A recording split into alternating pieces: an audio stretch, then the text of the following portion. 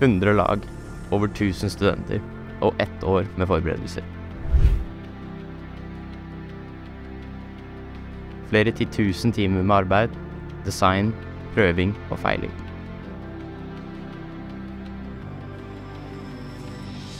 Alt for å kunne se resultatet der og da på banen. Det er beinhardt, intenst, men når man står på sidelinja og ser bilen krysse mållinja mens det rutete flagget vifter, da kommer all gleden. Etter å ha brukt flere hundre timer sammen med hverandre på årets bil, sitter vi ikke bare igjen med en bil, men med en opplevelse og en tilhørighet. Den følelsen er formla Stund for meg, og det er derfor jeg er med i Ion Racing. Mitt navn er Ole, jeg er 21 år og prosjektleder for Ion Racing. Målet for Ion i år er å delta i alle de statiske og dynamiske øvelsene og skåre en enda høyere poengsum i år enn det vi klarte i fjor. I fjor var vi det eneste elektriske laget som fullførte et dynamisk løp. Vi vant pris for den mest effektive bilen, og vi har lyst til å vinne enda flere pokaler i år.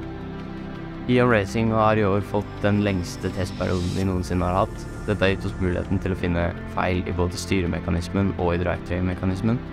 Vi har jobbet hardt i år på å finne en løsning for alle disse feilene.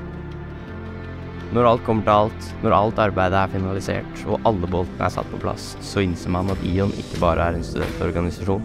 Det er mennesker, det er et lag, det er interesser, det er en passion, og det er minner.